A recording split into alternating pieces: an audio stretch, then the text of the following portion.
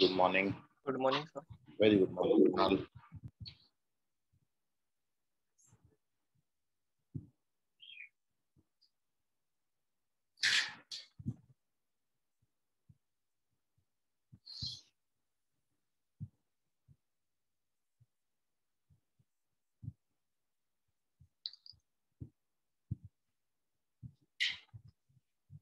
Sir good morning Very good morning. Anshu आवाज़ आ रहा है तुमको क्या सर अंशु अंशु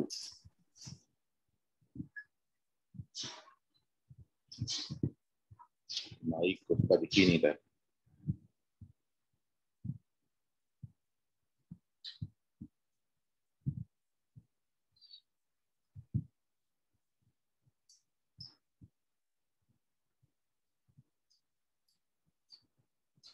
चलिए कॉपी रेडी कर लीजिए। रिलेशन आज अपन पढ़ेंगे। रिलेशन का डेफिनेशन लास्ट टाइम आपने देखा था। किसी बच्चे को कोई डाउट है रिलेशन की डेफिनेशन में तो पूछ लें। एक लाइन भर आपको याद रखना है। कभी भी पूछा जाए व्हाट इज़ रिलेशन तो relation is any subset of A cross B मतलब रिलेशन डिफाइन करने के लिए सबसे पहले आपको दो सेट रिक्वायर्ड है। आफ्टर देन आपको उन दोनों सेट्स का कार्टिशियन प्रोडक्ट करना है। और कार्टिशियन प्रोडक्ट के जितने सबसेट बनेंगे, हर सबसेट ए से बी पर एक रिलेशन होगा।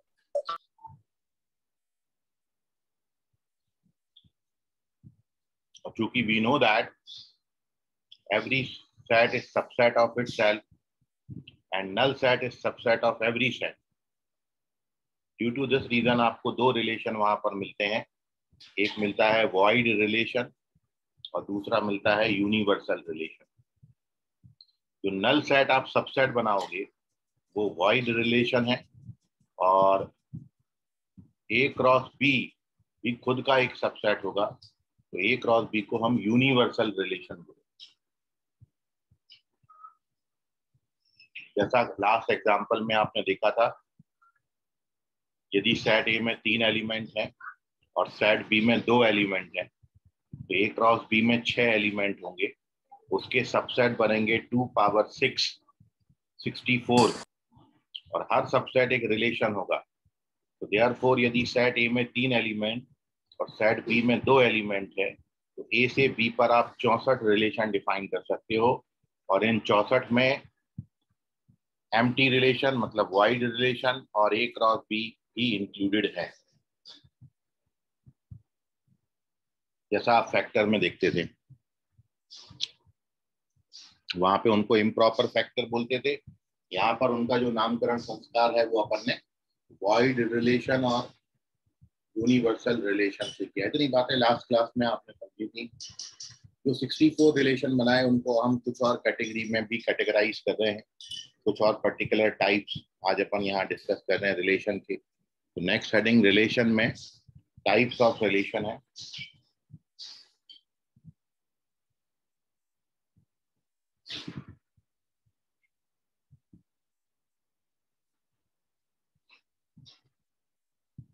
टाइप ऑफ़ रिलेशन में भी पहला जो है, वो है आपका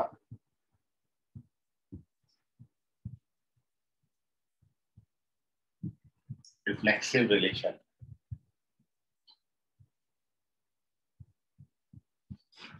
reflexive relation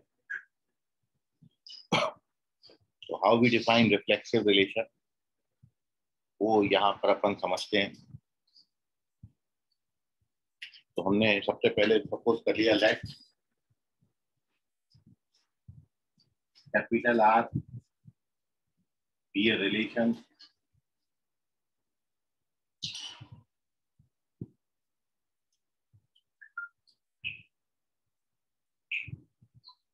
defined from set A to set B.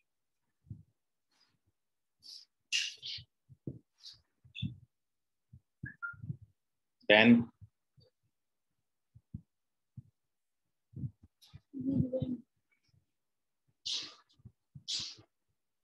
relation R is said to be reflexive.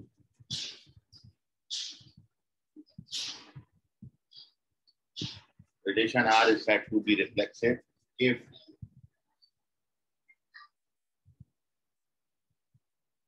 every element of set E is related to itself. Is related to itself.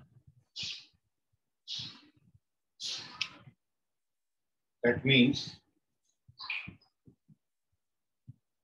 R is reflexive.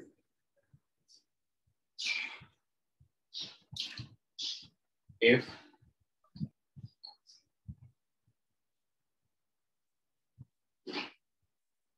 A, A belongs to R, for all A belongs to B. या इसी बात को आप लिख सकते हो और A related to A for all A belongs to दोनों में से कोई भी एक बात बोलो, दोनों का मीनिंग सेम है। A a belongs to R बोले या फिर ए रिलेटेड टू ए बोले। ये इस टाइप का जो रिलेशन बनेगा it is called reflexive relation तो किसी भी रिलेशन को रिफ्लेक्सिव होने के लिए सेट ए में जितना भी एलिमेंट है, हर एलिमेंट अपने खुद से रिलेटेड होना चाहिए। और एक बात यहाँ पर करेक्शन कर लें। Defined from A to B की जगह defined from A to A defined from A to A लिखें और ए टू ए इतने की भी जगह पर तो ए टू ए लिखा जाए तो defined from A to A की जगह पर डिफाइंड ऑन कैपिटल आर और डिफाइंड ऑन कैपिटल ए एक बात आप यहाँ समझ लें, यहाँ पर हम जितना भी टाइप्स दे रहे हैं, जो आपको सिलेबस में है, और जो कॉम्पिटिटिव एग्ज़ाम में आता है, जेई मेंस में, वो जो रिलेशन आपको डिफाइन करने हैं वो set A to set A पर डिफाइन करने हैं। मतलब ए टू इट ए और बी दो डिफरेंट डिफरेंट नहीं लेंगे। यहाँ पर जो आप रिलेशन के टाइप पढ़ रहे हैं, उसमें सेट ए से सेट ए पर अपन रिलेशन डिफाइन कर रहे हैं। और when a relation define from set A to set A तो अपन उसको बोलते हैं डिफाइंड ऑन ए दो दो बार ए बोलने का ज़रूरत नहीं है, केवल सिंपली हम डिफाइंड ऑन ए लिख दें। इसका मतलब ये है कि पहला सेट भी ए होगा और दूसरा सेट भी ए होगा so R is a relation defined on set A then this relation capital R is said to be reflexive if every element is related to itself by the relation capital R. और यदि आप mathematical language में इसको बोले तो R को reflexive होने के लिए a a belongs to R होना ज़रूरी है, और ये वर्ड बहुत इंपॉर्टेंट है for all a belongs to A कहने का मतलब जैसे यदि मैं for example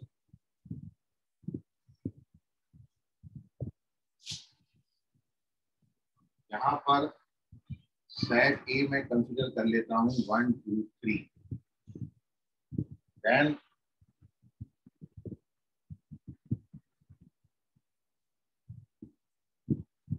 relation R one क्योंकि मैंने ऐसा लिखा है one one, two two, one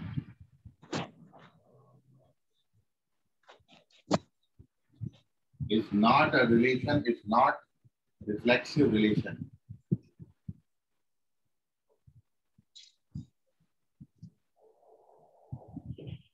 Thank you. Defined on capital R के कारण है since three three does not belong to R one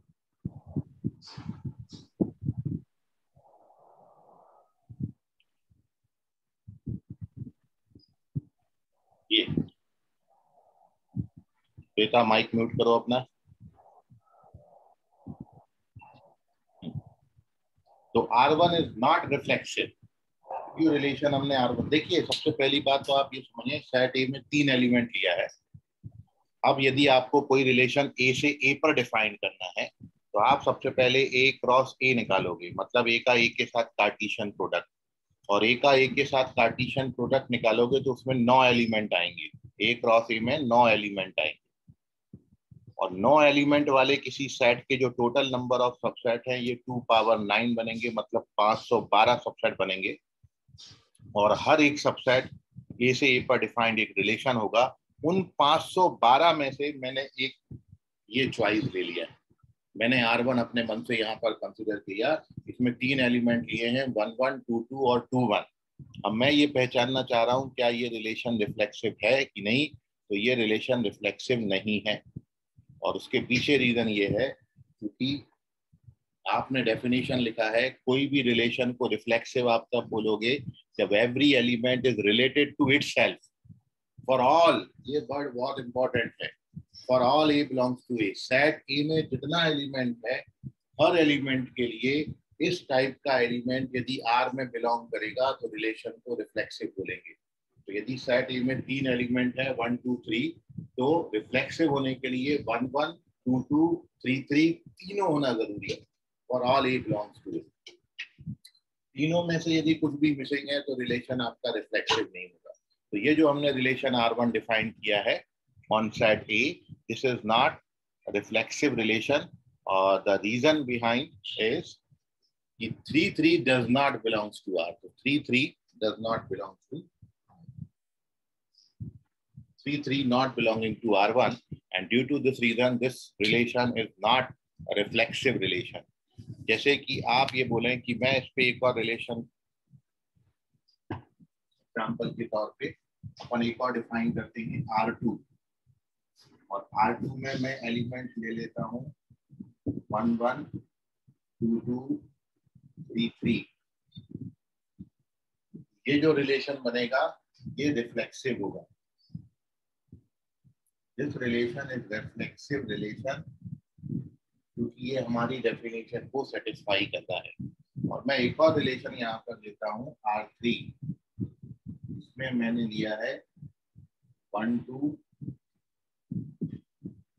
one one two three two two three three तो ये रिलेशन भी रिफ्लेक्सिव है। ठीक कितने सबसेट बनेंगे? 512 सबसेट बनेंगे। 512 सबसेट में हर सबसेट को आप रिलेशन बोलोगे। वो रिलेशन में रिफ्लेक्सिव रिलेशन कौन सा होगा? जो इस कंडीशन को फुलफिल करेगा। अब इस कंडीशन को फुलफिल करेगा का मतलब सबसे पहला आप चेक करेंगे कि सेट ए में कितना एलिमेंट है? तीन एलिमेंट है। सेट ए में यदि तीन एलिमेंट है तो हमको ये चेक करना है कि वो रिलेशन आर में one one two two three three आ रहा है कि नहीं आ रहा है। यदि one one two two three three में से कोई भी एक मिसिंग है तो रिलेशन कभी भी रिफ्लेक्सिव नहीं हो सकता। लेकिन हाँ यदि one one two two three three है, इसके साथ कुछ और भी है तो भी रिलेशन रिफ्लेक्सिव होगा, क्योंकि हमको आगे कुछ और के बारे में कुछ नहीं बोला। हमको ये बोला है, बस one one two two three three उसमें होना चाहिए। यदि है तो रिलेशन रिफ्लेक्सिव होगा। यदि इसमें से कुछ ज़्यादा है तो भी रिफ्लेक्सिव होगा। But one one two two three three में कुछ कम हो गया, एक आध भी मिसिंग हो गया तो फिर रिलेशन रिफ्लेक्सिव नहीं होगा। तो ये जो रिलेशन है, ये रिफ्लेक्सिव है, क्योंकि इसमें one one two two three three आ रहा है। ये जो रिलेशन है, ये भी रिफ्लेक्सिव है, क्योंकि वन वन है टू टू है थ्री थ्री है। ये रिलेशन रिफ्लेक्सिव नहीं हुआ था, क्योंकि इसमें थ्री थ्री बिलोंग नहीं करता था। इतनी बात में आपको कोई डाउट है तो पूछ लीजिए। ये है रिफ्लेक्सिव का definition every element is related to itself और जो हाईलाइट आपने करना है, जो याद रखने वाली बात है, वो ये वाली बात है। और ऑल वर्ड जो यहाँ पर लगा है, बहुत इंपॉर्टेंट वर्ड है ये। होने, होना ही चाहिए फॉर ऑल अब मान लो किसी सेट में चार एलिमेंट है वन टू थ्री फोर तो फिर आपको केवल ये चेक करना है रिफ्लेक्सिबिलिटी के लिए कि उसमें one one two two three three four four होना चाहिए। यदि ऐसा है तो रिलेशन रिफ्लेक्सिव हो जाएगा। इसमें से कुछ ज़्यादा है मतलब ये चार तो है ही उससे भी एक ज़्यादा है दो ज़्यादा है दस ज़्यादा है बीस ज़्यादा है तो भी रिलेशन रिफ्लेक्सिव हो जाएगा। But one one two two three three four four में से एक आध कोई मिसिंग हो गया तो फिर रिलेशन रिफ्लेक्सिव नहीं होगा। तब it is not a reflexive तो ये this is the condition for reflexibility आपके मन में कोई सवाल आ रहा है अभिषेक यादव कुछ पूछ रहे हैं? मयंक माइक म्यूट करो अपना। हाँ। बोलो। तो दूसरे सेट में भी थ्री एलिमेंट्स है क्या? बी वाले में। इसमें? हाँ सर बी में भी तीन ही एलिमेंट है क्या? बी बोले तो? सर रिलेशन देखिए यहाँ पर जो रिलेशन के टाइप्स अपन डिफाइन कर रहे हैं वहाँ पर जो ए और बी है उसकी जगह पर अपन ने ए और ए लेना है। मतलब पहला सेट भी ए है और दूसरा सेट भी ए है। तो बी की जगह पर अपन ने ए ले लिया। मतलब फ़र्स्ट सेट में भी वन टू थ्री है सेकंड सेट में भी वन टू थ्री है। तो जब ए क्रॉस बी आप निकालोगे कार्टिशियन प्रोडक्ट निकालोगे तो नौ एलिमेंट आएँगे। ठीक है? और सर अपन रिलेशन में पूरे सेट से लिखते हैं सबसेट नहीं पूरे लिखने की ज़रूरत है देखिए मैं आपको क्या बोला? कि जब मैंने सेट ए में तीन एलिमेंट लिया one two three A cross A में मतलब कार्टिशियन प्रोडक्ट में नौ एलिमेंट आएँगे। और उसके सबसेट 512 बनेंगे। 512 सबसेट में से हर एक सबसेट का नामकरण नहीं किया गया है। हर एक सबसेट को रिलेशन भाई हर सबसेट को रिलेशन तो बोलेंगे 512 रिलेशन बनेंगे। लेकिन अब इन 512 में दो तो अपन पहले ही से जानते हैं। एक यूनिवर्सल और एक वाइड रिलेशन वो तो बनेगा ही बनेगा। यूनिवर्सल और वाइड रिलेशन तो हमेशा बनेंगे। इनके तो नामकरण हो चुके हैं। 512 में बचे 510 अब वो जो 510 हैं, उन 510 में हर किसी को कैटेगराइज नहीं किया गया है। आपको जो पढ़ना है, वो कुछ पर्टिकुलर टाइप पढ़ने हैं तो मैं अभी आपको रिफ्लेक्सिव समझाया, फिर मैं आपको सिमेट्रिक बताऊँगा, फिर ट्रांजिटिव बताऊँगा। तीन अपन देख रहे हैं। तो उसकी डेफिनेशन को जो सेटिस्फाई करेंगे, अपन उनको उस कैटेगरी में डालते चले जाएँगे। 512 में से दो अपने हट गए हैं वाइड रिलेशन हट गया है यूनिवर्सल रिलेशन हट गया 510 रिलेशन बचे। अब इसमें से हम देख रहे हैं कि 510 में से रिफ्लेक्सिव कौन सा कौन सा होगा? क्योंकि मैं यदि 510 सबसेट पूरे लिखने चला जाऊँ तो मेरे तो वाट लग जाएगी। ठीक है ना? तो अपन को तीन घंटे के एग्ज़ाम में एक क्वेश्चन भी अपन पूरा नहीं कर पाएँगे। तो आपको केवल क्वेश्चन में पूरे के पूरे पहचानने नहीं आते। क्वेश्चन आपको क्या आता है? एक सेट दे देते हैं ऐसा एक रिलेशन दे देते हैं और आपको पहचानने आता है कि बताइए वो रिफ्लेक्सिव है कि नहीं। तो रिफ्लेक्सिबिलिटी चेक करने के लिए आप केवल ये चेक करोगे। हर एलिमेंट के लिए ऐसा होना ज़रूरी है। यदि ऐसा हो गया तो रिलेशन रिफ्लेक्सिव होगा। ठीक है? तो सारे सबसेट आपने नहीं लिखने हैं। बोलिए। बोलो अंशु। अगर सर बी सबसेट और ए सबसेट में सिर्फ़ एक ही एलिमेंट का डिफरेंस है तो हो सकता है क्या? नहीं जब आप यहाँ पर टाइप्स की बात कर रहे हैं रिलेशन तो देखिए, मैंने जो एग्जांपल आपको सबसे पहले दिन बताया था, उसमें यही बताया था कि दोनों में हमने एक का ही डिफरेंस रखा था। सेट ए में मैंने जो एलिमेंट लिए थे वो वन टू थ्री और सेट बी में मैंने ए बी एलिमेंट तो एक का डिफरेंस मैंने रखा था। लेकिन अब जो आपको यहाँ पर टाइप्स ऑफ़ रिलेशन पढ़ने हैं, वो किसी सेट से उसी सेट पर मतलब पहला सेट और दूसरा सेट दोनों सेम होना ज़रूरी है। ए से बी के लिए हम रिफ्लेक्सिबिलिटी सिमेट्रिक या फिर ट्रांजिटिविटी डिफाइन नहीं करेंगे। We have to define these types only when the relation define from set A to its मतलब पहला वाला जो होगा, दूसरा वाला मेंशन करने की ज़रूरत नहीं है, दूसरा वाला भी हम ए ही ले रहे हैं। ए से ए पर डिफाइन मतलब this is particular type of the relation पहले वाले केस में अपन सारे टाइप्स पढ़ रहे थे, लेकिन जब आपको रिफ्लेक्सिबिलिटी पढ़नी है या सिमेट्रिक पढ़ना है या ट्रांजिटिविटी पढ़नी है जो रिलेशन के टाइप्स हैं ये तीन उसमें हम किसी रिलेशन को उस सेट से उसी सेट पर डिफाइन करेंगे। ठीक है अंशु? यस सर चलिए। तो ना टेक हाँ बोलो बेटा। सर अगर बी सेट में टू थ्री फोर है और तब भी अगर relation one one two two और थ्री थ्री आया तो अपन उसको सिमेट्रिक बोलेंगे कि नहीं? सर रिफ्लेक्सिव बोलेंगे कि नहीं बोलेंगे? उसमें आ कैसे सकता है? यदि आप पहले सेट में वन टू थ्री ले रहे हो तो दूसरा सेट आप सेम नहीं ले सकते हो ना? दूसरा साइड यदि हाँ, आपने हाँ दूसरा साइड यदि सेम ले लिया तब तो वो ए से ए पर ही हो गया। तो दूसरा साइड मजबूरन जैसे फ़र्स्ट सेट में आपने वन टू थ्री लिया और सेकंड सेट में मान लो केवल वन टू लिया तब आपके पास जो थ्री थ्री वाली पॉसिबिलिटी है वो तो खत्म ही होगी तब तो रिलेशन रिफ्लेक्सिव नहीं हो पाएगा है ना? हाँ हाँ तो इसलिए किसी साइड से उसी साइड पर अपन लेंगे। तो इसका स्क्रीनशॉट ले लीजिए।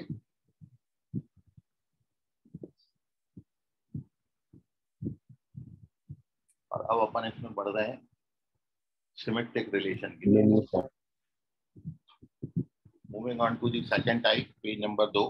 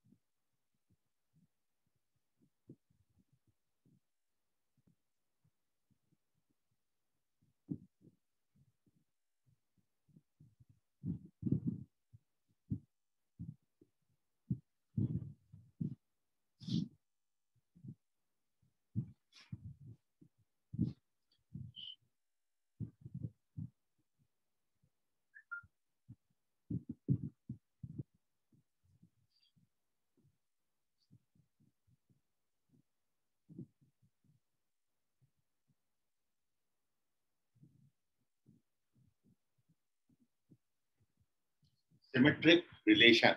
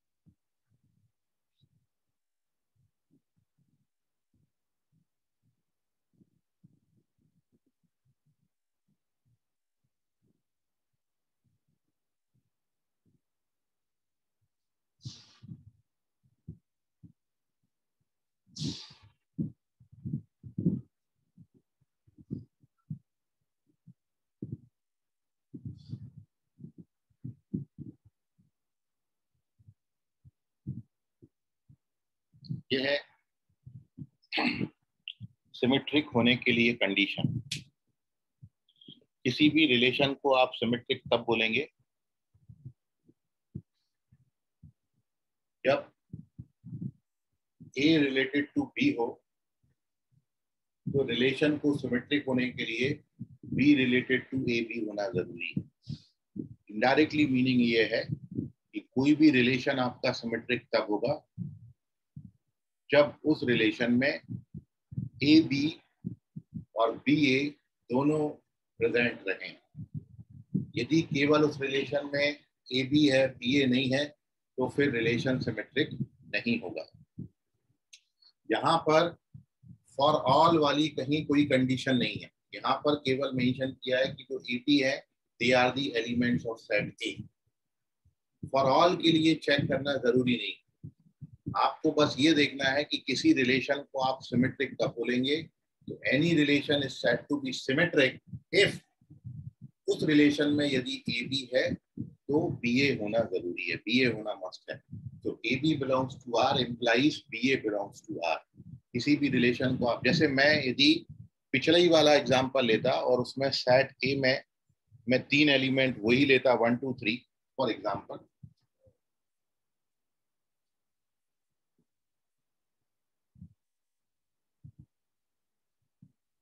set A में मैंने तीन एलिमेंट दिया है one comma two comma three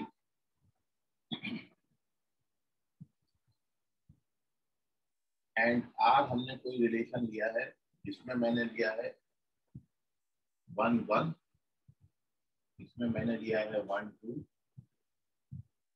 इसमें मैंने लिया है टू थ्री इसमें मैंने लिया है टू वन इसमें मैंने लिया है और इसमें मैंने दिया है B three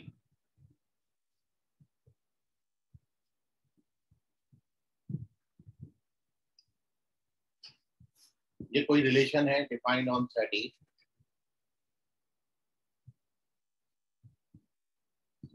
and capital R be relation defined on E Then capital R is reflexive relation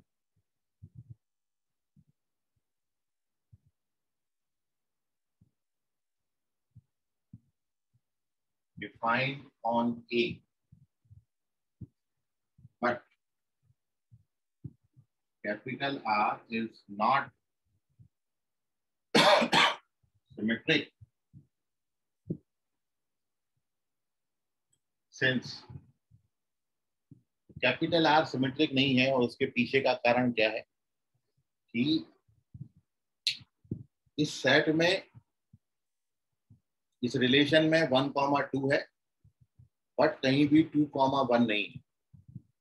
और इसके कारण ये रिलेशन सिमेट्रिक नहीं हुआ। यदि मैं इस रिलेशन में सॉरी टू कॉमा वन है टू कॉमा थ्री है बट थ्री कॉमा टू कहीं भी नहीं और ड्यू टू दिस रीजन ये रिलेशन सिमेट्रिक नहीं हुआ। Since three two does not belongs capital R. 3 2 capital R में नहीं होने के कारण ये रिलेशन सिमेट्रिक नहीं हुआ। और जो रिफ्लेक्सिबिलिटी की कंडीशन है, वो यहाँ पर फुलफिल्ड हो रही है। वन वन भी आ रहा है टू टू भी आ रहा है थ्री थ्री भी आ रहा है। इससे कुछ ज़्यादा आ रहा है, चलेगा। One one two two three three आ गया तो ये रिलेशन रिफ्लेक्सिव हो गया। ये रिलेशन सिमेट्रिक नहीं हुआ, क्योंकि इस रिलेशन में आप देख रहे हो वन टू है ए रिलेटेड टू बी है तो बी रिलेटेड टू है लेकिन इस केस में जो टू रिलेटेड टू थ्री है but three does not related to two मतलब थ्री कॉमा टू इसमें नहीं है। और इसके नॉट रिप्रेजेंट होने के कारण ये रिलेशन जो है वो सिमेट्रिक नहीं है। यदि मैं यहाँ से टू थ्री हटा देता था, या फिर इसमें थ्री टू डाल देता था तो फिर ये रिलेशन सिमेट्रिक भी हो जाता था।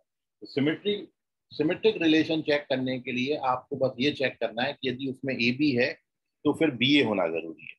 मान लो मैं इन सब में से सारा कुछ हटा देता, केवल मैं उस रिलेशन में वन कॉमा टू और टू कॉमा वन रखता तो भी रिलेशन आपका कैसा हो जाता सिमेट्रिक सिमेट्रिक के लिए बस आपने ये चेक करना है सारे एलिमेंट्सों को चेक करने की ज़रूरत नहीं है। सिमेट्रिक सिमेट्रिक रिलेशन होने के लिए आपको बस ये चेक करना है कि यदि उसमें ए बी है तो फिर बी ए होना ज़रूरी है। ए रिलेटेड टू बी है तो बी रिलेटेड टू ए यदि हो गया तो रिलेशन आपका सिमेट्रिक हो गया। ठीक है? सो ये रिलेशन इस रीजन के कारण सिमेट्रिक नहीं हो पाया। आपका कोई सवाल इतनी बात पर उठता है तो पूछ लीजिए। क्योंकि तो इस पे मैं नीचे एक नोट दे रहा हूँ अब आपको। सर अभी आपने क्या बोले रिपीट करना तो नेटवर्क ये डेफिनेशन लिखा है और इसमें आपको ये बोला है किसी रिलेशन को रिफ्लेक्सिव होने के लिए आपको ये चेक करना है कि उस रिलेशन में ए बी से रिलेटेड है तो फिर बी ए से रिलेटेड होना ज़रूरी ये तो फिर रिलेशन जाके आपका सिमेट्रिक होगा। ठीक है? जैसे कि वन वन है तो वन वन को रिवर्स करोगे तो भी वन वन ही आएगा, और सेट में कोई भी एलिमेंट रिपीट करके नहीं लिखा जाता। वन टू है तो सिमेट्रिक होने के लिए क्या होना ज़रूरी है? इसमें टू वन तो टू वन भी है अपने पास। टू थ्री है तो सिमेट्रिक होने के लिए क्या चाहिए था? थ्री टू लेकिन थ्री टू कहीं भी नहीं है, और बस यहीं पे आप छोड़ दीजिए, आगे चेक करने की ज़रूरत नहीं है। क्योंकि थ्री टू इसमें नहीं है तो रिलेशन सिमेट्रिक नहीं है। मैंने साथ में इसको एक एग्ज़ाम्पल रिफ्लेक्सिव का भी बना दिया। ये रिलेशन रिफ्लेक्सिव भी हो गया, क्योंकि ये रिफ्लेक्सिव की कंडीशन को सेटिस्फाई कर रहा है। वन वन इसमें है टू टू इसमें है और थ्री थ्री भी इसमें है। तो ये रिलेशन रिफ्लेक्सिव है बट सिमेट्रिक नहीं है। मतलब ऐसा भी हो सकता है कि कोई एक रिलेशन एक बार में एक से ज़्यादा रिलेशन के टाइप को डिफाइन कर दे। तो ये रिलेशन यदि मैं इसमें थ्री कॉमा टू भी डाल देता, तब ये रिलेशन सिमेट्रिक भी हो जाता। तो रिफ्लेक्सिव भी हो जाता और सिमेट्रिक भी हो जाता। बट अभी थ्री टू नहीं होने के कारण ये रिलेशन केवल रिफ्लेक्सिव है सिमेट्रिक नहीं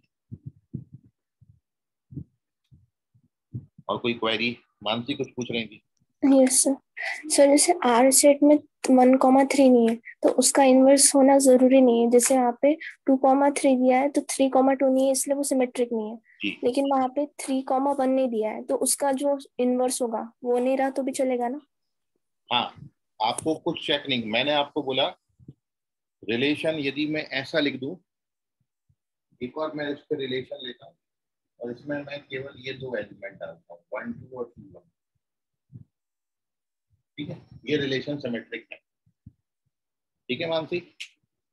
यस सर यानी जो एलिमेंट है उसका इनवर्स होना ज़रूरी हाँ। है बस उसी का। बाकी आपको इसमें यदि तीन एलिमेंट है वन टू थ्री सबके लिए चेक करने की ज़रूरत नहीं है क्योंकि फॉर ऑल वर्ड कहीं भी नहीं लगा है। आपको बस ये चेक करना है कि वन टू है तो टू वन होना ज़रूरी है, बस। ठीक है? अब कुछ छूट भी गया इसमें तो भी चलेगा। और कोई क्वेरी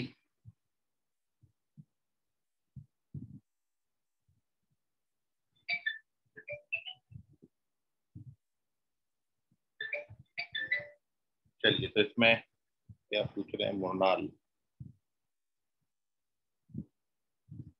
बच्चों कुछ क्वेश्चन है good morning sir sir twelfth चालू हो गया। हाँ हो गया ट्वेल्थ चालू का नाउ मधुल मेश्राम सर एक टाइम की, एक ही रिलेशन रह सकता क्या?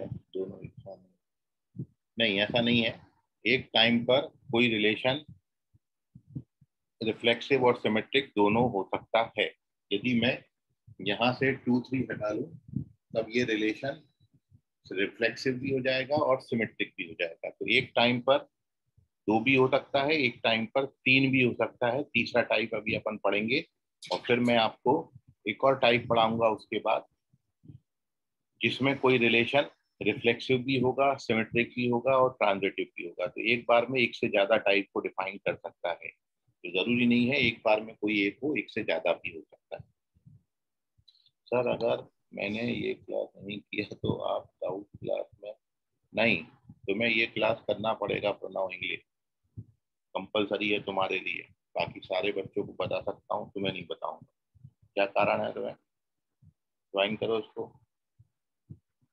एक्सीडेंट कहाँ मार लिए पैर?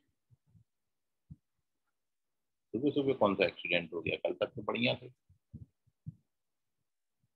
चलो, एक नोट लिखिए जैसे अगर ए अगर चार एलिमेंट का सेट रहा वन टू थ्री फोर तो जब अपन रिलेशन लिखेंगे ए पे ए के लिए तो अगर रिलेशन में अगर तीन एलिमेंट आ रहे हैं, जैसे वन टू थ्री आ रहे एक सबसेट में तो फिर उसमें one two three three two one two three one ये सारे कॉम्बिनेशन आने चाहिए सिमेट्रिक के लिए।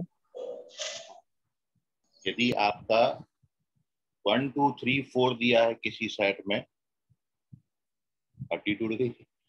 वन टू थ्री यदि किसी सेट में दिया है वन टू थ्री फोर दिया है यदि सेट ए में। और यदि हम उस पर कोई रिलेशन लें इसमें मैंने केवल दो एलिमेंट लिए वन टू और टू वन तो भी रिलेशन सिमेट्रिक हो जाएगा। चारों आना ज़रूरी नहीं है। सर हम्म।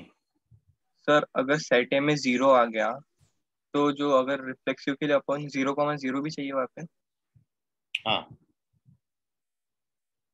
सर उसको एम्प्टी सेट या नल सेट डिफाइन नहीं करेंगे। नहीं एम का मतलब होता है कोई एलिमेंट नहीं होना चाहिए। यहाँ पर आप ज़ीरो कॉमा ज़ीरो लिख रहे हो तो एक एलिमेंट तो है ही ना ज़ीरो ज़ीरो ज़ीरो तो आप ज़ीरो क्यों मान रहे हो? ज़ीरो एल्जेब्रा में ज़ीरो होता है, लेकिन यहाँ पर ज़ीरो कॉमा ज़ीरो लिखो जैसे आप ओरिजन लिखते हो ना तो ओरिजन भी तो एक पॉइंट है ना, वहाँ से जा चलना शुरू होता है। ओरिजन के भी कुछ कोऑर्डिनेट तो होते ही हैं ज़ीरो कॉमा ज़ीरो तो ज़ीरो कॉमा ज़ीरो जब यहाँ पर लोगे तो वो एक रिलेशन आर का एक पॉइंट बन जाएगा। जब ये पॉइंट बन जाएगा तब वो एम नहीं होगा। मतलब बात ऐसी है कि कोई क्लास चल रही है। जैसे अभी ये क्लास चल रही है। आप सब चले जाओ और मैं भी चला जाता हूँ। तो क्लास हो गई एम उसको एम रिलेशन बोले लेकिन अब मेरे किसी बच्चे की क्लास मतलब ये सारे आप बच्चों की क्लास चल रही है। अब उसमें से किसी बच्चे को ज़ीरो मार्क्स मिला है। हम ये थोड़ी बोलेंगे कि वो बच्चा एकदम क्लास के बाहर हो गया उसको काउंटिंग में लेंगी नहीं। नहीं पढ़ता है उसको ज़ीरो मार्क्स मिला है। तो एलिमेंट तो है ही ना। मतलब उस क्लास में केवल वो अच्छा बच्चा बेचारा अकेला बैठा हुआ ठीक है? आप अपने मोमेंटम का क्लासरूम कंसिडर करो उसमें वो बच्चा बैठा है जिसको ज़ीरो मिला है। तो अपन उसको एम क्लास थोड़ी बोलेंगे। उसमें एक बच्चा तो बैठा ही भले ही उसके मार्क्स ज़ीरो हो तो क्या हो गया? ठीक है कुणाल? हाँ, चलिए। तो अब आप उसमें कुछ नोट लिख लीजिए। आरुष आप कुछ बोल रहे हैं। हाँ सर मैं वो बोल रहा था जो मैंने पूछा था जैसे चार एलिमेंट है तो मैं ये बोल रहा था कि जैसे तीन तीन के सबसेट बनेंगे तो। तब तीन जितने तीन कॉम्बिन नहीं नहीं तीन तीन के नहीं बनेंगे। तीन तीन के सबसेट क्यों नहीं बनेंगे? क्योंकि अपन रिलेशन ए से ए पे डिफाइन कर रहे हैं। यहाँ पर अपन दो सेट का कार्टिशियन प्रोडक्ट ले रहे हैं। ए क्रॉस ए ले रहे हैं। और ए क्रॉस ए ले रहे हैं इसलिए ऑर्डर पेयर बनेगा। ऑर्डर ट्रिपलेट नहीं बनेगा। ठीक है ऋषभ ओके सर और अगर सर ट्रिपलेट बनते कभी तो ट्रिपलेट के जितने अरेंजमेंट्स होते उतने हाँ। सब रहना चाहिए ना? ओके नोट में पहला नोट लिखेंगे identity and universal relation are symmetric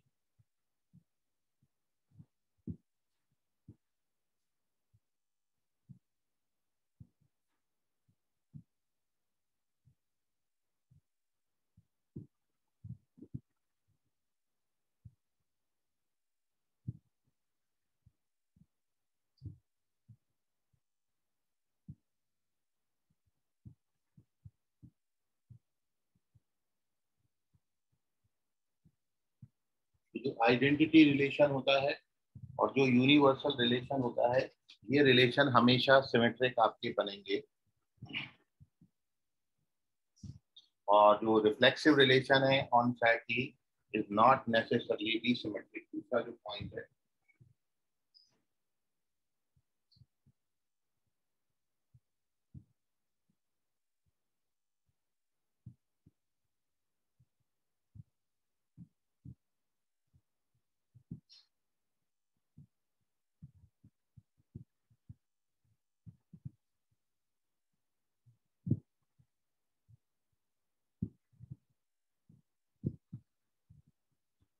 और जो रिफ्लेक्सिव रिलेशन है, वो सिमेट्रिक हो, ऐसा ज़रूरी नहीं है। जैसे मैंने आपको ये बोला था, ये रिलेशन रिफ्लेक्सिव है, क्योंकि इसमें वन वन है टू टू है और थ्री थ्री है। बट ये रिलेशन सिमेट्रिक नहीं है। तो हर रिफ्लेक्सिव रिलेशन सिमेट्रिक होगा, ऐसा ज़रूरी नहीं है। तो reflexive relation is not necessarily be symmetric और पहला पॉइंट है identity relation and universal relation are always symmetric तो यूनिवर्सल रिलेशन तो आप सभी लोग समझते ही हैं। जैसे मैंने आपको बोला था कि सेट ए है। और मैं ए से ए पर जब रिलेशन डिफाइन करना चाहूँगा तो मैं ए और ए का कार्टिशन प्रोडक्ट लूँगा। और ए और ए का जब कार्टिशन प्रोडक्ट लोगे तो उसमें टोटल नौ एलिमेंट बनेंगे। और नौ एलिमेंट के टू पावर नाइन सबसेट होंगे। उन टू पावर नाइन सबसेट में एक सबसेट बनेगा नल सेट जिसको अपन वाइड रिलेशन बोलते हैं, और एक सबसेट बनेगा ए क्रॉस ए खुद। वो ए क्रॉस ए को अपन यूनिवर्सल रिलेशन बोलते हैं। तो ए क्रॉस ए में एलिमेंट कितने आएँगे? ए क्रॉस ए में एलिमेंट आएँगे one one two two three three तो ये जो रिलेशन बनेगा, ये यूनिवर्सल रिलेशन होगा, और ये जो यूनिवर्सल रिलेशन है, ये हमेशा सिमेट्रिक होगा। और अब आइडेंटिटी रिलेशन क्या है? तो इस पर मैं थोड़ा सा लाइट डाल देता हूँ अगले पेज पर। तो फ़िलहाल आप इसका स्क्रीनशॉट ले लें और अब ओपन में ये आइडेंटिटी रिलेशन को थोड़ा सा एक्सप्लेन कर देता हूँ। व्हाट इज़ आइडेंटिटी रिलेशन ठीक है? सो ये पॉइंट्सों को आप याद रखिएगा। आइडेंटिटी रिलेशन थर्ड टाइप है। क्या बोले बेटा? आइडेंटिटी रिलेशन थर्ड टाइप है। नहीं नहीं थर्ड टाइप नहीं है। मतलब मैं देखिए जो मेन टाइप है उन्हीं को मैं नंबरिंग दे रहा हूँ। जैसे पहला मेन टाइप अपना रिफ्लेक्सिव है। दूसरा मेन टाइप अपना सिमेट्रिक है और तीसरा जो मेन टाइप होगा वो होगा ट्रांजिटिव ताकि आपके मन में केवल ये ख्याल रहे कि भाई तीन इंपॉर्टेंट है। बाकी ये सब टाइप आप इनको मान लेते हो तो इसको भी आप टाइप ऑफ़ रिलेशन तो बोल ही सकते हो, ठीक है? लेकिन अब ये आ गया है, कभी कभार क्वेश्चन आइडेंटिटी पे आ जाता है तो आप इसको नेक्स्ट टाइप ना डालें। अपन इसी में बस ये नोट के नीचे आइडेंटिटी रिलेशन को डिफाइन कर दे रहे। हैं इसमें मैं एक पॉइंट और आपको दूँगा।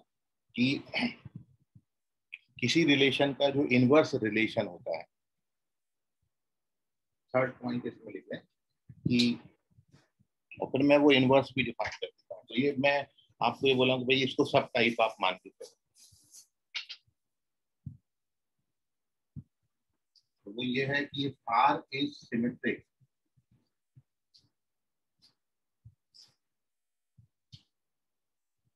then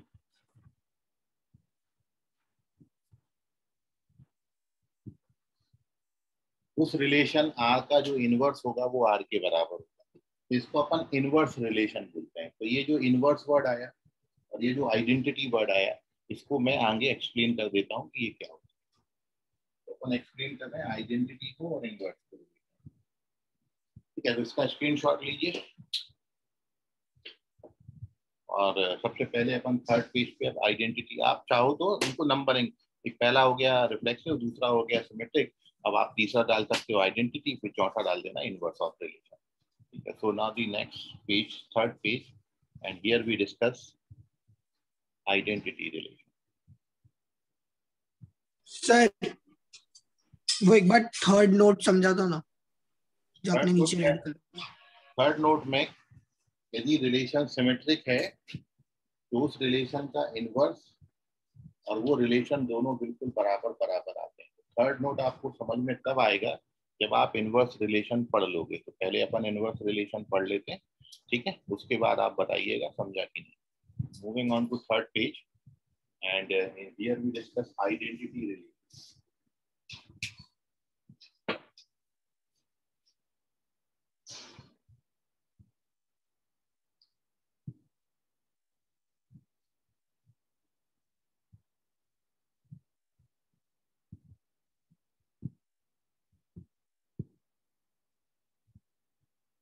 identity relation.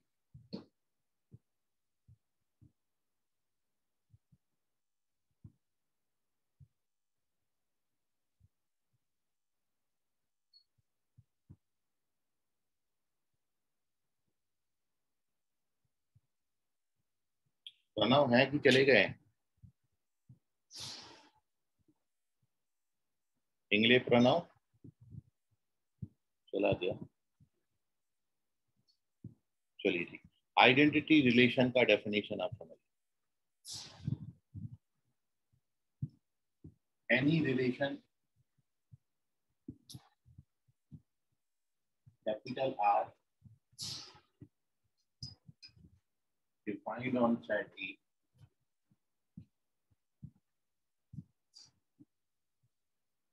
to be an identity relation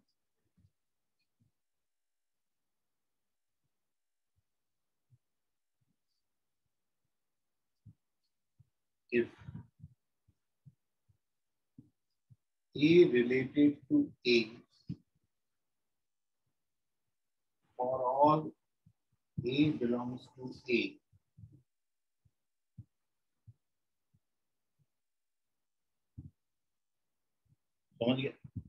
This is the definition of an identity अब आप ये देख रहे होगे कि ये डेफिनेशन बिल्कुल रिफ्लेक्सिव रिलेशन जैसी डेफिनेशन है। लेकिन रिफ्लेक्सिव रिलेशन की डेफिनेशन को अपने यहाँ से शुरू करके यहाँ पे खत्म कर दिया। ये रिफ्लेक्सिव की डेफिनेशन और अब इसके साथ एक वर्ड मैंने डाल दिया ओनली तो ये जो रिलेशन हो जाएगा, ये आइडेंटिटी रिलेशन हो जाएगा। ठीक है? फॉर ऑल है ही। तो अब दोनों बातों में फ़र्क क्या है? दोनों बातों में फ़र्क ये है कि रिलेशन आर को आइडेंटिटी होने के लिए उस रिलेशन आर में केवल one one two two three three ही आ सकता है। सबके लिए आना ज़रूरी इनमें से कोई एक मिसिंग है तो रिलेशन आइडेंटिटी नहीं होगा। इनमें से कुछ एक ज़्यादा भी है तो फिर रिलेशन आइडेंटिटी नहीं होगा। मतलब आइडेंटिटी होने के लिए इतने और केवल इतने ही चाहिए। मतलब यदि सेट ए में तीन एलिमेंट है तो रिलेशन आर में भी तीन एलिमेंट आएँगे one one two two three three का ओनली ये जो रिलेशन बनेगा, ये बनेगा आइडेंटिटी रिलेशन मतलब ओवरऑल जो इसमें नोट निकल के आ रहा है, और वो नोट ये निकल के आ रहा है कि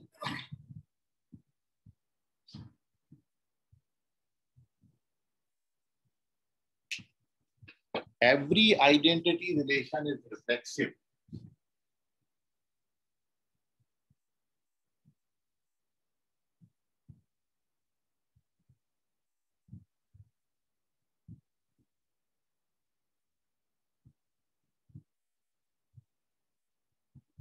like.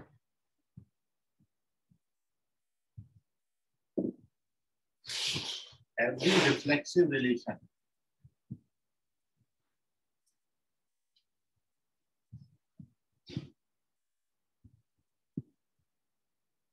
is not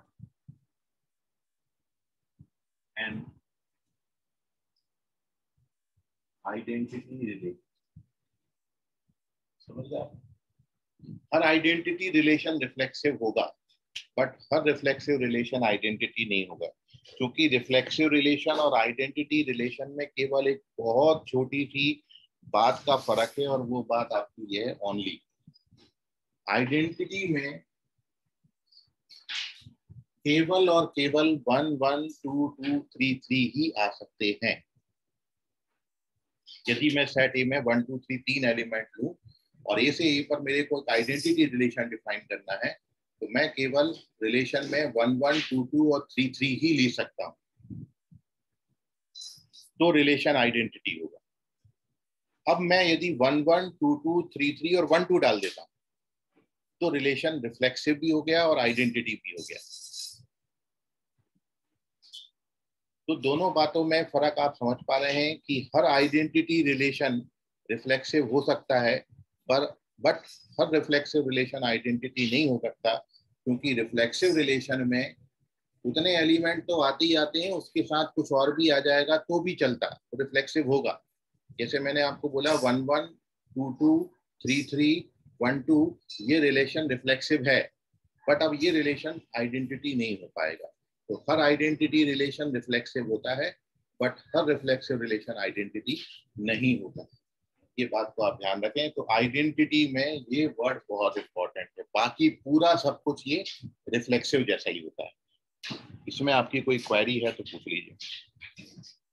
और इसमें तो यही आपको बोला था कि आइडेंटिटी रिलेशन और यूनिवर्सल रिलेशन ये जो दो रिलेशन है, ये हमेशा और हमेशा सिमेट्रिक रिलेशन बनेंगे।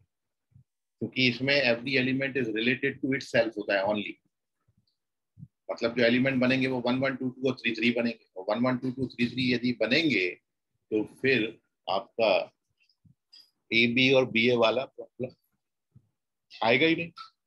और रिलेशन आपका कैसा हो जाएगा? सिमेट्रिक हो जाएगा। आइडेंटिटी और universal relation are symmetric relation और अब इसमें एक और बात मैंने आपके साथ डिस्कस करी थी which is inverse inverse of relation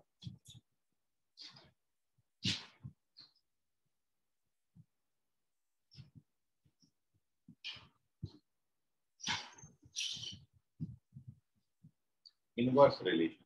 So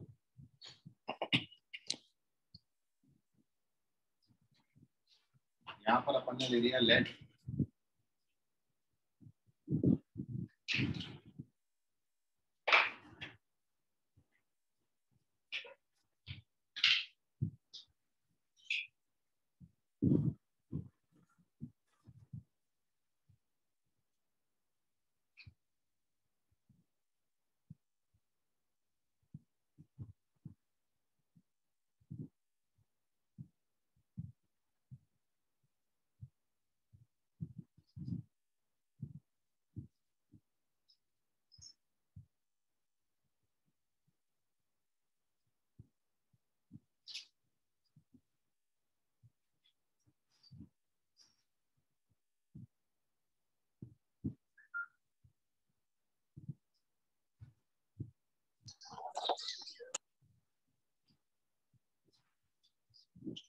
यह है इनवर्स रिलेशन का डेफिनेशन इसी रिलेशन की इनवर्स को हम आर इनवर्स से डिनोट करेंगे। और यदि आर कोई रिलेशन है defined from A to B उसका जो इनवर्स है, उसमें एलिमेंट बी ए टाइप के आए मतलब आर ए से बी पे डिफाइंड है तो आर इनवर्स जो रिलेशन होगा it is defined from set B to set A.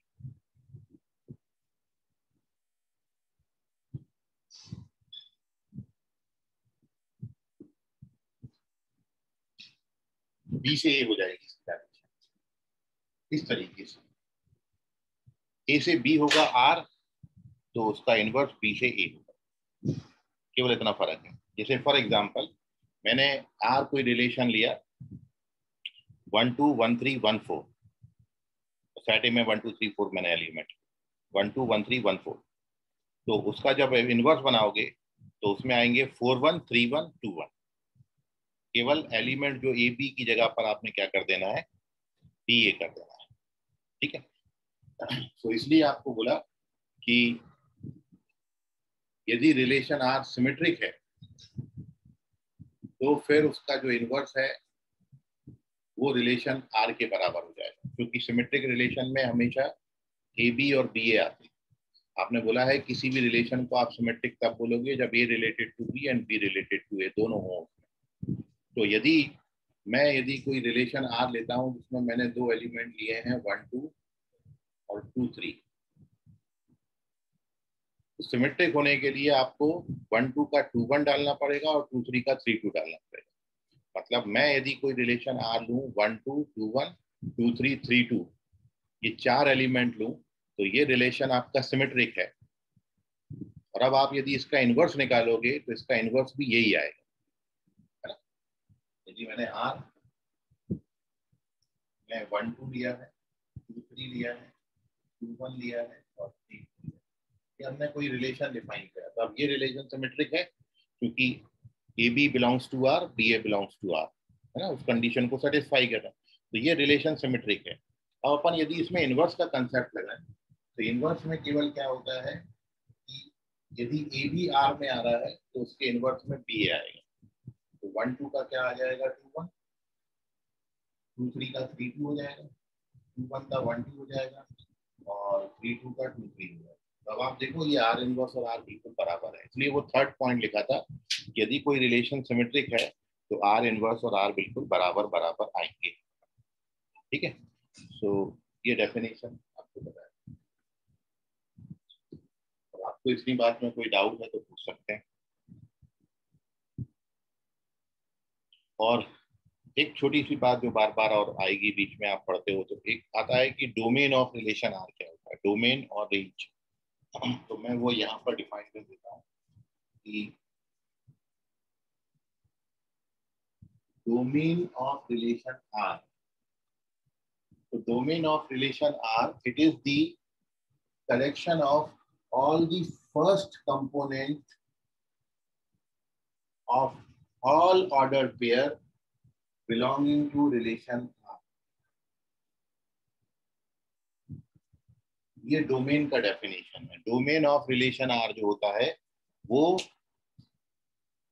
सारे फ़र्स्ट कंपोनेंट का कलेक्शन होता है मतलब ये जो ऑर्डर पेयर बन रहे हो इस ऑर्डर पेयर में जो पहला एलिमेंट होता है, उन पहले पहले एलिमेंट्स का जो कलेक्शन होगा, वो डोमेन ऑफ़ आर बनाएगा।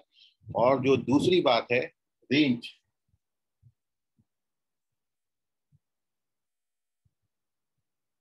range of relation R it is collection of all the second component of all order pair belonging to relation R इस बात को और समझने के लिए जैसे फॉर एग्ज़ाम्पल सर ये इनवर्स का पार्ट नहीं है ना? हाँ इनवर्स में बता और ये किसी भी रिलेशन ज़रूरी इनवर्स के लिए किसी भी रिलेशन का यदि डोमेन और रेंज निकालना है तो वो क्या होता है वो बता तो जैसे मैंने फॉर एग्ज़ाम्पल सेट ए में मैंने तीन एलिमेंट ले लिए। वन टू थ्री और सेट बी में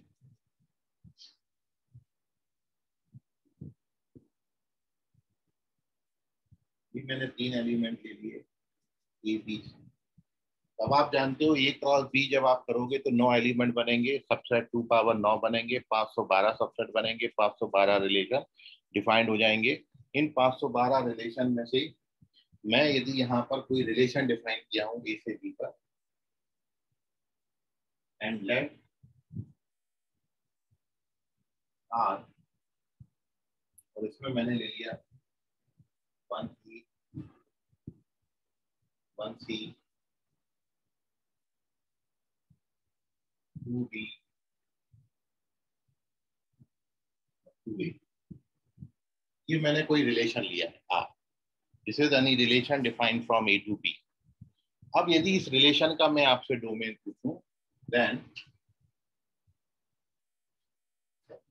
domain of this relation capital R ये आपने डोमेन क्या बोला है? Domain is the set of all the first component तो ये जो आपने ऑर्डर पेयर लिखे हैं चार, इन चार ऑर्डर में पहला पहला कंपोनेंट जो है उनका कलेक्शन बना। तो वन है और टू है, बस। सेट में कोई भी एलिमेंट रिपीट करके नहीं लिखते। आप वन वन टू टू ऐसा नहीं लिखना। सेट में एलिमेंट एक और एक ही बार लिखा जाता है। ये आपको मैं पहले दिन भी बता चुका। जैसे मैथमेटिक्स में ग्यारह लेटर्स हैं। एम ए टी दो बार रिपीट होता है तो जब आप उसका सेट में कलेक्शन बनाएँगे तो एम ए और टी एक एक ही बार ही लिखा जाएगा। तो फ़र्स्ट एलिमेंट का जो कलेक्शन यहाँ पर बन रहा है, वो बन रहा है वन और टू। ये क्या बन गया इसका डोमेन? और रेंज क्या आएगी इसकी? तो रेंज ऑफ़, ये सेकंड कंपोनेंट का कलेक्शन होता है। सेकंड कंपोनेंट में ए भी आ रहा है बी भी आ रहा है, और सी भी आ रहा है। तो ये कहलाएगा रेंज। तो फ़र्स्ट कंपोनेंट का कलेक्शन डोमेन और सेकंड कंपोनेंट का कलेक्शन जो है वो रेंज बनाता है। तो ये है डोमेन और रेंज का तो जो पिछले लेक्चर पिछले पेज पर जो बातें आई थी आपके सामने तो आइडेंटिटी रिलेशन दूसरा इनवर्स रिलेशन क्या होता है? अब इनवर्स रिलेशन जब पढ़ा तो मेरे को ये भी ध्यान भाई डोमेन और रेंज भी कुछ चीज़ होती तो वो भी आपको बता दी कि डोमेन और रेंज क्या होता है, ठीक है? और इसमें एक कंसेप्ट और आता है कि यदि आप के लिए आर इनवर्स किसी रिलेशन आर का इनवर्स रिलेशन है तो फिर जब इनवर्स है तो उल्टा हो गया। तो इनवर्स रिलेशन में क्या होता है कि जो आर का डोमेन है, वो आर इनवर्स की रेंज बन जाती है और जो आर इनवर्स की रेंज है, वो आर का डोमेन बन जाता है। दोनों बार मैंने एक ही बात बोली है, लेकिन आप समझ गए। ठीक है ना? क्योंकि ए और बी पूरे तरीके से, यदि रिलेशन आर ए से बी पे डिफाइंड है तो उसका इनवर्स बी से ए पर डिफाइंड तो जब बी से ए पे डिफाइंड होगा तो डोमेन और रेंज इंटरचेंज हो जाते हैं आर और आर इनवर्स के। मतलब जो बात एक और नोटेबल है, वो ये है कि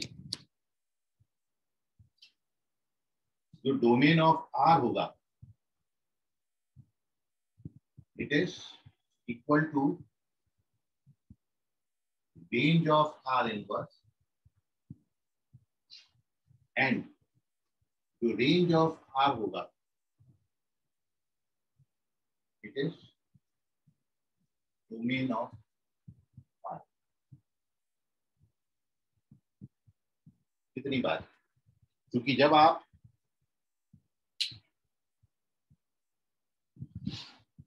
इस R का इनवर्स लिखोगे। तो जब आर का इनवर्स लिखेंगे तो एलिमेंट क्या बनेंगे? A one C one B two A two और इसलिए डोमेन और रेंज इंटरचेंज हो जाते हैं। ठीक है? तो इतनी बात है। अब इस पूरे बातों में आपको कोई डाउट है क्वेरी है आपका सवाल है तो पूछ लीजिए। सर अपन क्वाड्रेटिक में जो रेंज पढ़ते थे और यहाँ पे जो पढ़ रहे दोनों में फ़र्क है क्या? हाँ यहाँ जब फ़ंक्शन में आप पढ़ोगे तो रेंज का बेसिकली मीनिंग ये होता है फ़ंक्शन में दो चीज़ें होती हैं। एक होता है इनपुट और एक होता है आउटपुट ठीक है? तो इनपुट को अपन बोलते हैं डोमेन और जो आउटपुट निकल के आता है, उसको अपन बोलते हैं यहाँ पर रेंज तो रेंज का मतलब वहाँ पर जो था कि क्वाड्रेटिक की मिनिमम और मैक्सिमम वैल्यू कितनी हो सकती है? तो रेंज वहाँ पे अपन कंसेप्ट करते मिनिमम टू मैक्सिमम और यहाँ पर जो रेंज का कंसेप्ट है, यहाँ पर रेंज को अपन एसोसिएट करेंगे आउटपुट वर्ड से, कि मैंने कुछ इनपुट डाला, फिर इनपुट डाला, और फिर इनपुट डाला, कुछ इनपुट डाला, और डालने के बाद मेरे को आउटपुट क्या क्या मिल रहा है? उनका जो कलेक्शन बनेगा, वो कहलाएगा रेंज तो वहाँ पर जो रेंज था, वो मिनिमम टू मैक्सिमम था, कि कोई क्वाड्रेटिक कितना मूव कर सकता है। और यहाँ पर जो रेंज को अपन एसोसिएट कर रहे हैं, वो अपन उससे एसोसिएट कर रहे हैं आउटपुट से। ठीक है? क्योंकि अपन जब अभी आगे फ़ंक्शन पढ़ेंगे तो फ़ंक्शन में, मैं वन डाला तो वन के करस्पॉन्डिंग फ़ंक्शन ने क्या, जैसे मैंने फ़ंक्शन ले लिया एक्स स्क्वायर अब एक्स स्क्वायर फ़ंक्शन लिया तो अब मैं एक्स स्क्वायर में एक्स की जगह पर वन डालूँगा मतलब इनपुट वन डालूँगा। तो आउटपुट भी वन आएगा वन का स्क्वायर वन होता है। फिर मैंने इनपुट टू डाला तो आउटपुट मेरे को फोर मिला। क्योंकि टू का स्क्वायर फोर होता है। और मैंने इनपुट थ्री डाला तो आउटपुट आया नाइन। ठीक है? तो यहाँ पर मेरे को आउटपुट तीन ही मिले, वन, फोर और नाइन। जबकि आप एक्स स्क्वायर भी एक क्वाड्रेटिक है, और एक्स स्क्वायर का यदि रेंज देखोगे तो एक्स स्क्वायर की रेंज ज़ीरो से इन्फिनिटी है, क्योंकि एक्स स्क्वायर हमेशा पॉजिटिव है। तो मिनिमम सबसे मिनिमम वैल्यू एक्स स्क्वायर की क्या हो सकती है? ज़ीरो और मैक्सिमम वैल्यू क्या हो सकती है? इन्फिनिटी तो एक्स स्क्वायर का यदि आप क्वाड्रेटिक के पॉइंट ऑफ़ व्यू से देखोगे तो एक्स स्क्वायर की रेंज ज़ीरो से इन्फिनिटी है। लेकिन एक्स स्क्वायर को जब अपन यहाँ पर रेंज डिफाइन करेंगे फ़ंक्शन के चैप्टर में एक्स स्क्वायर को एज अ फ़ंक्शन ट्रीट करेंगे तो फिर उसमें डोमेन के करस्पॉन्डिंग पॉइंट्स पर रेंज की क्या क्या सॉरी आउटपुट क्या क्या मिल रहा है, उन आउटपुट का कलेक्शन अपन रेंज ठीक है? क्लियर है ऋषभ? हाँ सर क्लियर है। और सर एक बार वो यूनिवर्सल रिलेशन बता दो ना। Universal relation every set is subset of itself और ड्यू टू दिस रीजन जब आप ए क्रॉस ए का सबसेट बनाएँगे तो ए क्रॉस ए का एक सबसेट ए क्रॉस ए खुद बनेगा। और वो जो ए क्रॉस ए बनेगा, उसको अपन बोलेंगे यूनिवर्सल रिलेशन तो आप ये जानते हो कि ए क्रॉस ए बनेगा क्या? जैसे मैंने सेट ए में तीन एलिमेंट लिया वन टू थ्री तो दूसरा जो सेट है, वो भी वन टू थ्री है। तो ए क्रॉस ए बनाओगे तो कितने एलिमेंट आएँगे? नौ एलिमेंट आएँगे। क्या क्या आएँगे? One one one two, one three, two one, two two two three, और three one, three two, three three. ये नौ एलिमेंट वाला जो ए क्रॉस ए बनेगा, ये ए क्रॉस ए ए क्रॉस ए का सबसेट होगा, इसलिए ये ए से ए पर एक रिलेशन होगा। तो इस रिलेशन को अपन बोलेंगे यूनिवर्सल रिलेशन जिसमें एलिमेंट आएँगे नौ, one one, two two sorry one one one two, one three, two one, two two two three, और three one, three two, three three. ये बनेगा यूनिवर्सल रिलेशन जबकि जो आइडेंटिटी रिलेशन है इसमें केवल और केवल आएगा वन वन टू टू और थ्री समझ गया ऋषभ हाँ सर समझ सर हाँ बोलो। Sir A cross B B का इनवर्स हो सकता है कि बी क्रॉस ए हाँ ए क्रॉस ए का इनवर्स नहीं ए क्रॉस ए का इनवर्स नहीं बोलते ए क्रॉस बी का इनवर्स डिफाइंड ही नहीं है। कार्टिशन प्रोडक्ट का इनवर्स नहीं होता है। ठीक है A cross B and B cross A are the different things हाँ ए से बी पर जो रिलेशन डिफाइंड होगा उसका इनवर्स अपन बी क्रॉस ए बोलेंगे। तो वहाँ पर ये मेंशन कहीं नोटेशन आपको नहीं मिलेगा कि ए क्रॉस बी का इनवर्स निकालो। ए से बी पर जो डिफाइंड रिलेशन आर है उस आर का इनवर्स आपसे पूछा जाता है। ठीक है अंशु? यस सर चलिए। सो ना टेक द स्क्रीनशॉट ये रिलेशन के दो टाइप मेनली अपन ने डिस्कस किए। एक तो रिफ्लेक्सिव दूसरा सिमेट्रिक इनको पहचानना आप सीख गए हो। कल अपन जब कुछ और क्वेश्चन इसमें करेंगे ट्रांजिटिविटी हमको पढ़नी है और उसके बाद इक्वी बैलेंस रिलेशन पढ़ना है। इक्वी बैलेंस पे जाके ये रिलेशन का कंसेप्ट जो है आपका खत्म हो जाएगा, ठीक है? सो इक्वी बैलेंस पे ही जनरली जेई मेंस में क्वेश्चन पूछे गए हैं। जेई एडवांस में तो ये है ही नहीं में। इसलिए वो इक्वी बैलेंस तक पहुँचने के लिए इनकी रिक्वायरमेंट थी अपन को रिफ्लेक्सिव पढ़ना था, समझना था। सिमेट्रिक पढ़ना था। कल मैं आपको ट्रांजिटिविटी के बारे में बताऊँगा और इक्विवेलेंस रिलेशन के बारे में बताऊँगा। थोड़ा सा आप पढ़ लीजिएगा उसको। और मोस्ट प्रोबेबली कल अपन रिलेशंस के ये टाइप्स और इन पर कुछ क्वेश्चन करके ये रिलेशन के टॉपिक को विराम देंगे।